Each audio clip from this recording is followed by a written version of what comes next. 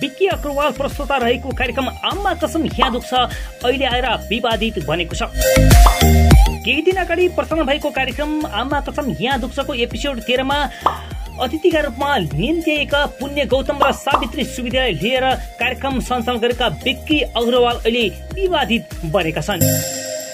हुनी विरुद्ध नेपाली क्रिकेटर सन्दीप लामिछानेले साइबर ब्युरोमा जाने तयारी समेत गरिरहेका छन्। सावित्री सुवेदी र विक्की अग्रवाल विरुद्ध साइबर ब्युरो जाने तयारीमा रहेका छन्। यति बेला सन्दीप लामिछाने। नेपाली राष्ट्रिय क्रिकेटर खेलाडी सन्दीप लामिछाने कानुनी उपचार खोज्न साइबर ब्युरो जाने भएका हुन्। आफूबारे सार्वजनिक टेलिभिजन कार्यक्रममा दिएको अभिव्यक्तिलाई लिएर लामिछाने नेपाल प्रहरी साइबर ब्युरो जाने भएका हुन्। गत शनिबार नेपाल नेटवर्क टेलिभिजन तथा ओएसआर रियालिटी युट्युबमा प्रसारण भएको आममा कसम यहाँ दुख्छ कार्यक्रममा अतिथिका रूपमा आएकी सावित्री सुवेदी जय नारीले लामिछानेलाई वध गर्नुपर्ने अभिव्यक्ति दिएकी थिइन्।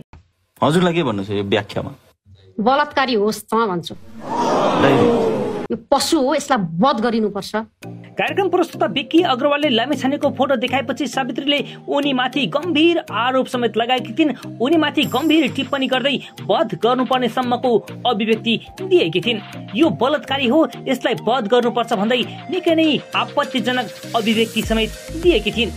बलात्कार आरोपमा मुद्दा अदालतमा विचाराधीन रहेको अवस्थामा बलात्कारको आरोप मुद्दा अदालतमा विचाराधीन रहिरहेको अवस्थामा मुद्दालाई प्रभावित पार्ने व्यक्तित्व मान मर्यादा गिराउने र वध गर्नुपर्छ भन्ने जस्ता गम्भीर अभिव्यक्ति टेलिभिजन कार्यक्रममा सामान्य तरिकाले टिप्पणी गरेकोले कानुनी उपचार खोज्ने तयारी भइरहेको लामिछानेका कानुनी व्यवसायी अधिवक्ता सरोज कृष्ण खिमिरेले बताएका छन्।